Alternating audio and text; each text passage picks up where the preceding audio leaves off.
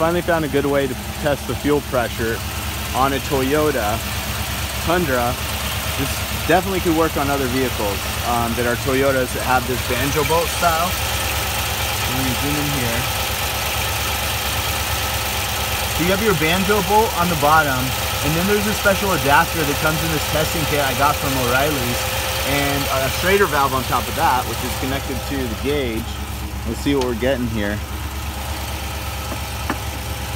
Oh, I gotta zoom out. So we're at 42, 44, 46, 48, 50. We're at 45 about, and the pressure should be 38 to 44. So I would say that's good. A little more is better than a little less, right? But it's not the 65 that I thought I had before, and that was the pump is capable of when I was just hooked up to the return line and blocking the return flow. So this is actually good news because this is telling me my this is telling me my pressure regulator is good. So here's the um, set from O'Reilly. Uh, they even include a multimeter, but there's there was no cables, so it's kind of pointless. I have my own, of course, but it comes with different fittings. The fitting I'm using looks just like this. I can't get that side off, but that's okay.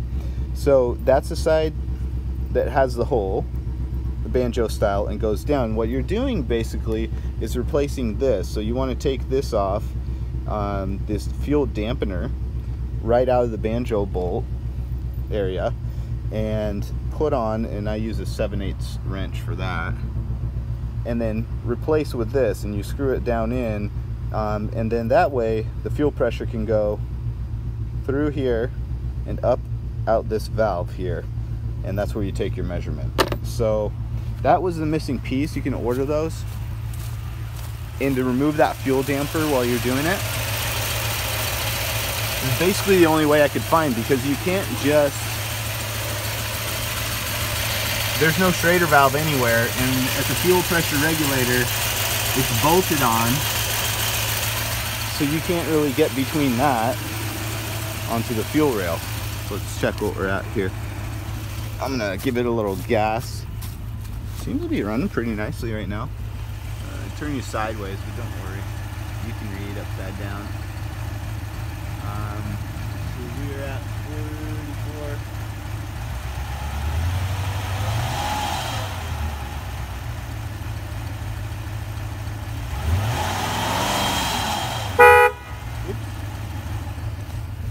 44. Whoops. So even at up to uh, 3,000 RPMs, it looks like the fuel pressure is fine. Now, now I can feel my engine start to, I can feel the engine start to kind of bog down and kind of uh, get rough idle. And look, it's at like 500 RPM, where it's supposed to be more up to 700 or so. And this is where I'm having my problem and can't figure out. And also with starting. So I'm gonna turn it off. And let's see if it can start.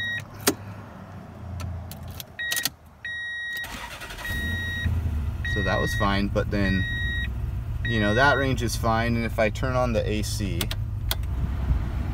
that kind of brings it up a little bit because it has that uh, little sensor wire that when you turn the AC on it should bring up the idle a little bit to handle the extra load like if you're um, not moving.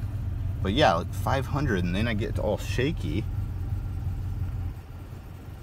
Everything's shaking in here and that's all fine and good. It'll run like that for a long time and it'll be fine, no problem. But it's just sometimes when I go to start, it will not start on the first try. It'll go, this one you just flick, it's a flick start, flick, and then you wait five seconds, nothing, didn't start, but it tried, dugga, turning over. Second time, third time, sometimes up to five times. But now that it's kind of warmed up and flowing, it's starting right up. But I'll come back here in an hour and try it and see what I get. And that, that kind of low and that kind of shakiness at this low idle, even at, even a normal idle, it shouldn't be vibrating too much. You think that's the motor mounts? I can definitely feel like a pulsing, like dun dun dun dun dun dun dun dun. Not too bad, but you can hear it in the exhaust, that's for sure. Still at the same pressure. And even with this gauge, you can even let a little fuel out.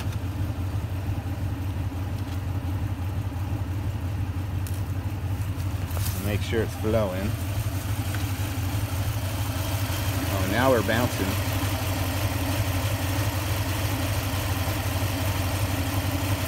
But that may have to do more with because I drained a little fuel there. Let me push.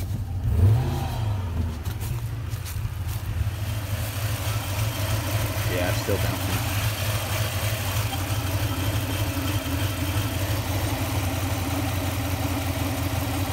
That could be indicative of something though. If I'm getting that, the fuel pressure is kind of kicking around, maybe that's why I'm getting that vroom, vroom, vroom, vroom, vroom, vroom. I'm not sure.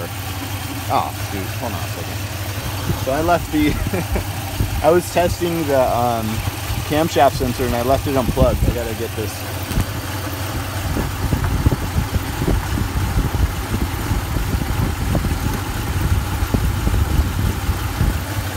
I keep getting the error of the camshaft sensor um, PO340 and you can hear it.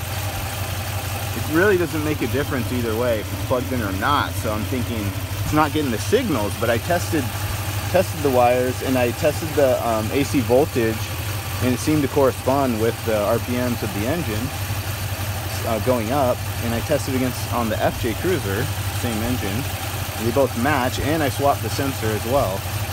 So I don't think it's that, but it's possible it could be the wiring going up. So I have to check at the ECU what values I'm getting. And that would be my last thing to check here.